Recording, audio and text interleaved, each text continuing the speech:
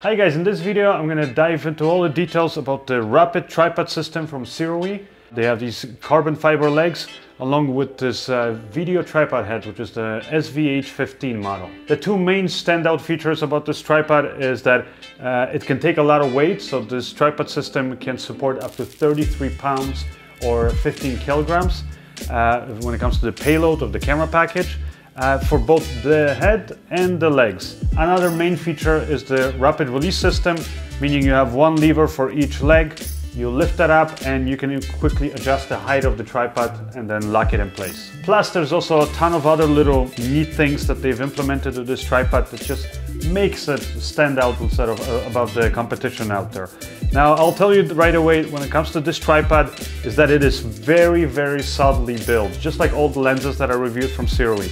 So it's just the materials that they use are top quality materials well manufactured and everything is solid. There's nothing loose or rattling on this tripod.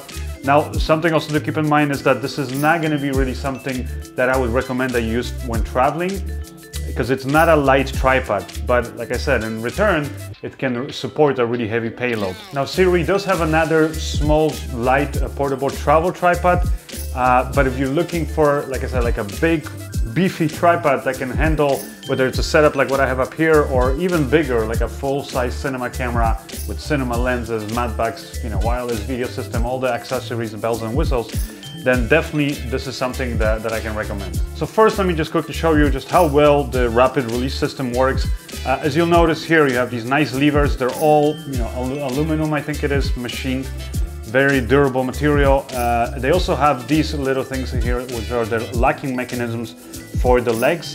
So for example, if you want to unlock it, then you can adjust the angle of the leg and you have three different settings for it. And then you just push it back in to lock it.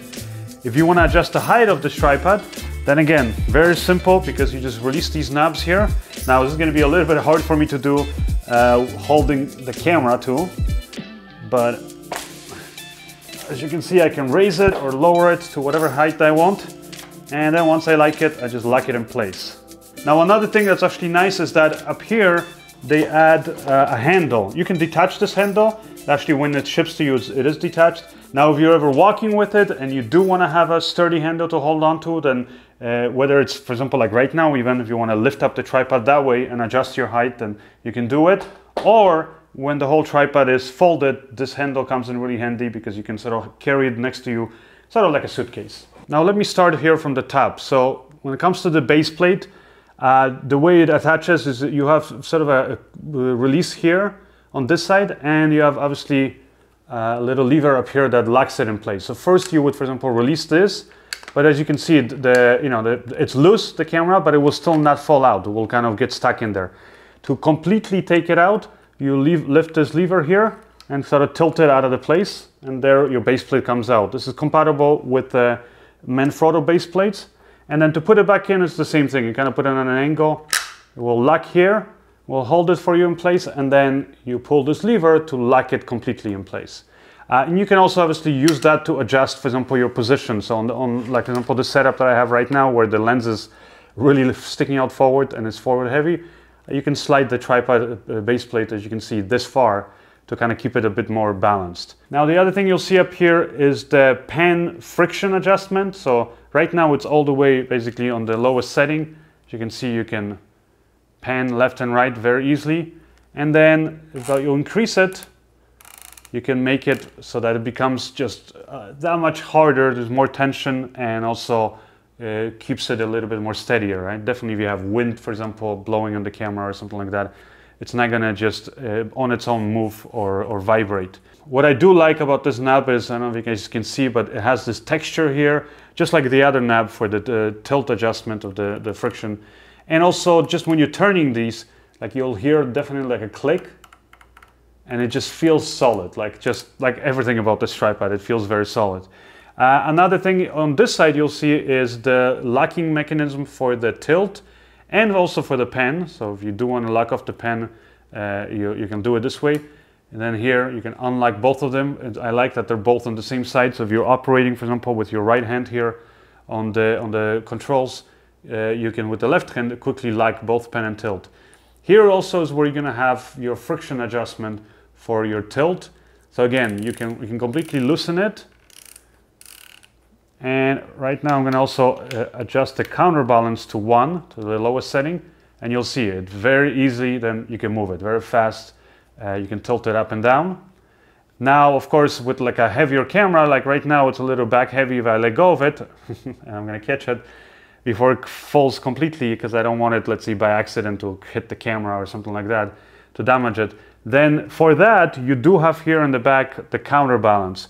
So right now, as you can see, this is on one setting. If I increase it to, for example, I don't know, maybe let's put it to uh, maybe four setting and we'll see. Right now the camera is level, but let's say I leave it. Ah, there, you see it stops it. If I go increase it all the way to seven and let go of it, you see it doesn't even let it go that much backwards. Now the same thing if I, for example, had the camera, let's say in this position, and then for whatever reason you let go of the, the, the, the tripod or you forget to lock it or something, you let go of it, you see it just will spring back to that uh, setting. Now, of course, if it's too strong for you, you can adjust it here. So right now I'll put it to four and let's see how that works. So you see it also just lets it go a little bit further, but it nicely kind of, uh, you know, stops it and, and uh, prevents it from completely tilting back or forward. Now the next thing let me talk about are, for example, the arms here. So you have two of them. You can obviously take off one if you don't need it. Uh, I a lot of times like to have one and the other in case I need to attach other accessories to this, uh, then I have it. But like I said, with both of these, you can either detach them or adjust the angle. Once you like it here, is in nice and solid. And then with this little lever, you can unlock it and you can adjust the length of it. This is the extreme, this is the longest. This will be the shortest here. Now, like I said, here on the bottom of the, the tripod head, you have uh, the lever here for adjusting the uh, the level of your tripod head. So as you can see, you can adjust it here quickly, loosening it. And another feature I like is that they, basically, like I said, you can very quickly just with pretty much one turn, you can lock it or unlock it. But let's say you wanted to completely take this off and actually take out the head, maybe replace it with another head or whatever. You don't have to, you know, you could just completely thread it out, out of this way. But once you have it loose, you have this little lever uh, once you push that lever, it will allow you to basically take this out completely.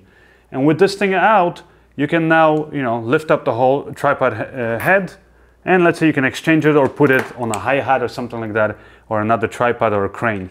And then the same thing when you want to put it back in. So you put the tripod head on there, and then as you can see, you can push this up, it will kind of lock in, and then you pretty much just do like a turn and that's it, it's already locked in place. So as you can see, this is another one of these features that just makes working with this tripod that much faster. Now all of these example shots were done with the 300 millimeter Sigma zoom lens uh, and also with the 1.4 extender. So at that kind of a zoom, any little mistake or a tiny bit of shake in the, in the tripod will result in really horrible shaky shots. So this will give you guys a sort of a good idea of what you can expect with this fluid head. As you can see, it can produce very fluid shots, but obviously if you're shooting with a crazy zoom lens like this one or even higher, then you will want to be careful. I actually found that when I was using this tripod head, it was very fluid. Uh, there was no shaking here whatsoever. Uh, and any kind of shaking that I did see in the footage was actually because the mount for the lens itself is not the best. As you can see up here right now, the tripod head is not moving, but this thing is actually flexing here. So that's where sometimes I did have a tiny bit of a shake. So you definitely want to have a proper and sort of a very sturdy setup. And in this case, it actually would have been better if I attached my rails here and then I supported the lens with the rails instead of supporting the whole weight of the camera onto this little uh, lens mount.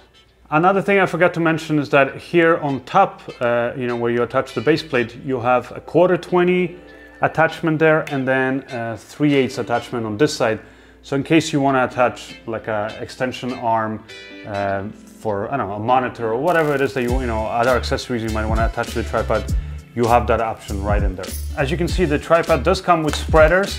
Uh, I don't use them most of the time because so far, at least with the setup that I've had on this and the amount of weight that I put on this tripod, uh, I basically didn't need it. It's the, the legs are very sturdy. But if you did want that extra support, uh, then you can definitely put this under. You can adjust the spreader so you can see the length of them and you can lock them in place. And when it comes to actually attaching them, it's also very quick. You just press this little lever here and it kind of puts it in, uh, lifts this little part up. and then you can attach it. We'll do the same thing here with these ones.